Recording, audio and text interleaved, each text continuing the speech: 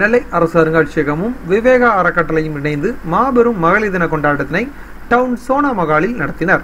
இந்நிகழ்வில் காப்பாட்சியர் சிவசத்தியவள்ளி தலைமையேற்றார்.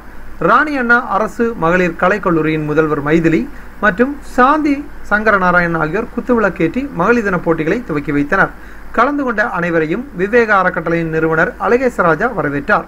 சோனா ரெடிமேட்ஸ் உரிமையாளர் சங்கரநாராயணன் மற்றும் விவேகா அறக்கட்டளையின் தலைவர் லயன்ஸ் அமல் தாமஸ் ஆகியோர் முன்னிலை வகித்தனர். திருநெல்வேலி டவுன் காவல் உதவி ஆணையாளர் சதீஷ்குமார் சாதனை பெண்மணிகள் இருபத்தி ஐந்து பேருக்கு விருதுகள் வழங்கினார்.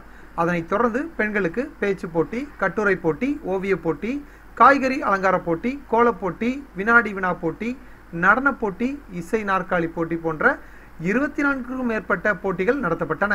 மயூரி டிவியின் உரிமையாளர் ஆறுமுக நயனார் மற்றும் பரணி இசைக்குழுவின் சடகோபன் நம்பி ஆகியோர் வாழ்த்துறை வழங்கினர். போட்டிகளில் வெற்றி பெற்றோருக்கு லயன்ஸ் ஐயாதுரை பரிசுகளை வழங்கினார். நிகழ்ச்சியில் இரண்டாயிரத்திற்கும் மேற்பட்ட பெண்கள் கலந்து கொண்டனர்.